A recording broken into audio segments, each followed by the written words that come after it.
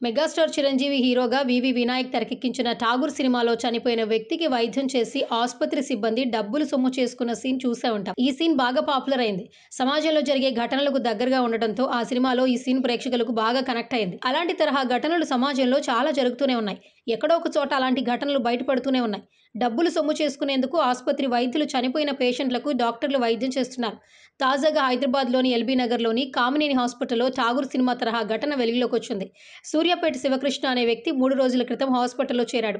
అయితే పేషెంట్ ఆరోగ్య పరిస్థితి ఎలా ఉందో తమకు చెప్పలేదని తాము అడిగినా ఏదో చెప్పి తప్పించుకుంటున్నారని కుటుంబ సభ్యులు ఆరోపిస్తున్నారు.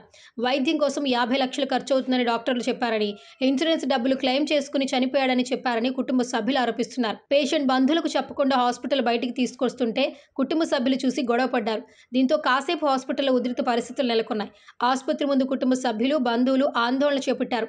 దీంతో పోలీసులు ఆసుపత్రి వద్దకు చేరుకుని బాధితుల నుంచి వివరాలు తెలుసుకున్నారు. దీనిపై కేసు నమోదు చేసుకుని దర్యాప్తు చేస్తున్నట్లు పోలీసులు స్పష్టం చేశారు.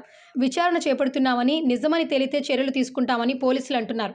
ఈ ఘటనకు సంబంధించి మరిన్ని వివరాలు ఇంకా తెలియాల్సి ఉంది. సబ్స్క్రైబ్ చేయండి. Subscribe to please do subscribe to subscribe to Please like, share, and subscribe to top Telugu TV Top Telugu TV. Top Telugu TV. top telugu tv top telugu tv